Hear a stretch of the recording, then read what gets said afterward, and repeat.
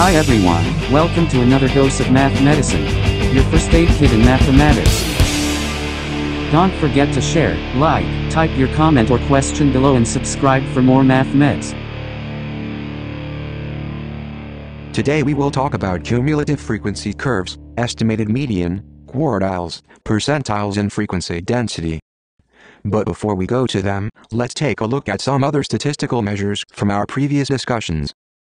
Question number 10. The table shows information the heights of a group of 42 students.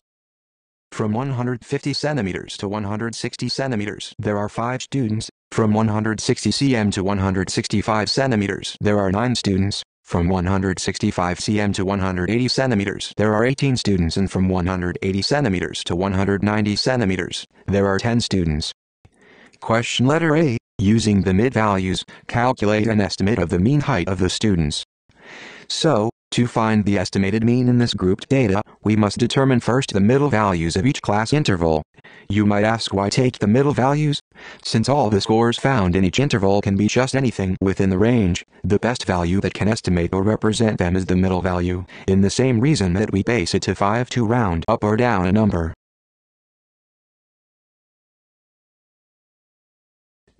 To find the mid value, we must take the average or mean of lower and upper values in each interval. For the first class interval, 150 plus 160 then divided by 2 would give a mid value of 155. For the second class interval, we add 160 and 165 and then divide their sum by 2, we will get 162.5. And we do the same thing for the third and fourth intervals, which are 172.5 and 185 respectively. So to find the estimated mean is to multiply the mid-value of each class interval to the corresponding frequency. 155 times 5 plus 162.5 times 9 plus 172.5 times 18 plus 185 times 10. This sum is going to be divided by the total frequency, which is 42. This gives us a sum of 7192.5. Then dividing this by 42 gives an estimated mean of 171.25 centimeters. Question 10 letter B. Write down the interval that contains the lower quartile. Lower quartile is the located in the first 25% of frequency. So, 25% of 42 students or we can also take one-fourth of 42 is 10.5. This means that the lower quarter or Q1 is located between 10th score and the 11th score. Looking at the frequency, there are 5 scores in the first interval, added it with 9 scores from the 160 to 165 interval, we already have a total of 14 total scores, we went beyond the 10th and 11th scores. Hence, the lower quartile and found within this 160 centimeters to 165 centimeter interval. Number 10 letter C. Complete the histogram below to show the information in the table. One column has already been drawn for you. If you will take a look closely vertical axis of the graph provided for us, it is labeled frequency density. Hence we must compute for the frequency density first.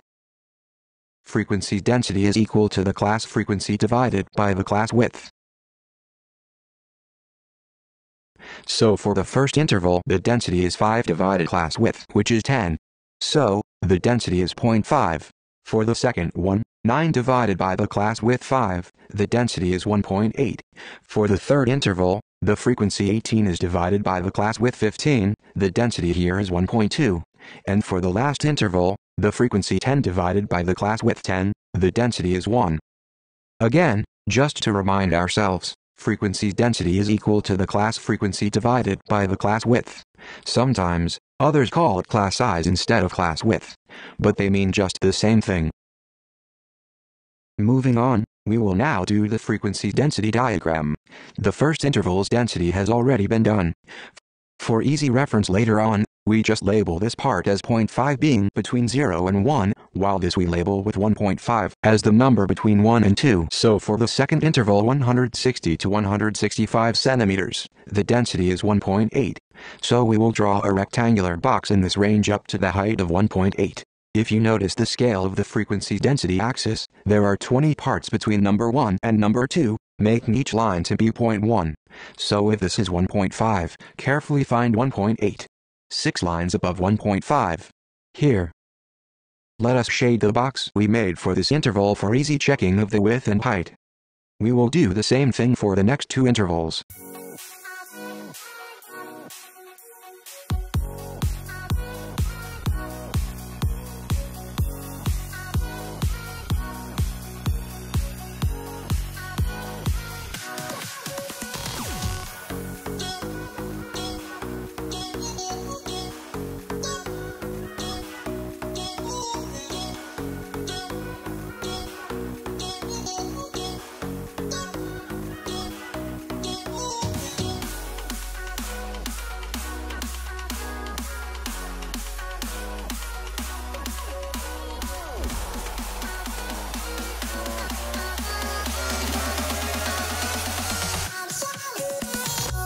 Interestingly, we can actually get some information from this frequency density that is not readily available in the frequency table.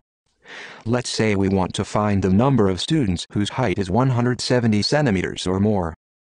One of the advantages of a frequency density diagram is that it is assumed that the scores are equally spaced out inside each box. Hence, we can estimate the frequency from any range, within the interval.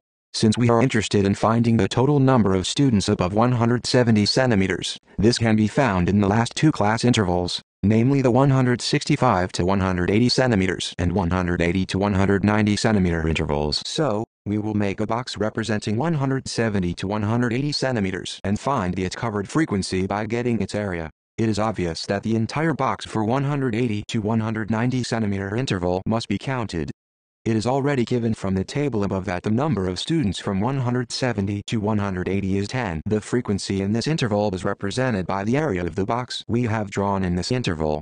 To check, we can take the width of this interval which is 10 and the height of the rectangle which is the density equal to 1 if area of a rectangle is base times height. In this case, Frequency is equal to the class width times the frequency density. So the total number of students whose height is the 10 students from the last class interval plus the number of students from the 170 to 180 centimeter interval. We can find the frequency from 170 centimeters to 180 centimeters by taking the class width, which is 10 and the frequency density, which is 1.2, and multiply them. So, 10 students from 180 to 190 centimeter interval plus 12 students from 170 to 180 centimeters, gives us a total of 22 students whose height is 170 centimeters or more. Here are other examples of involving frequency density.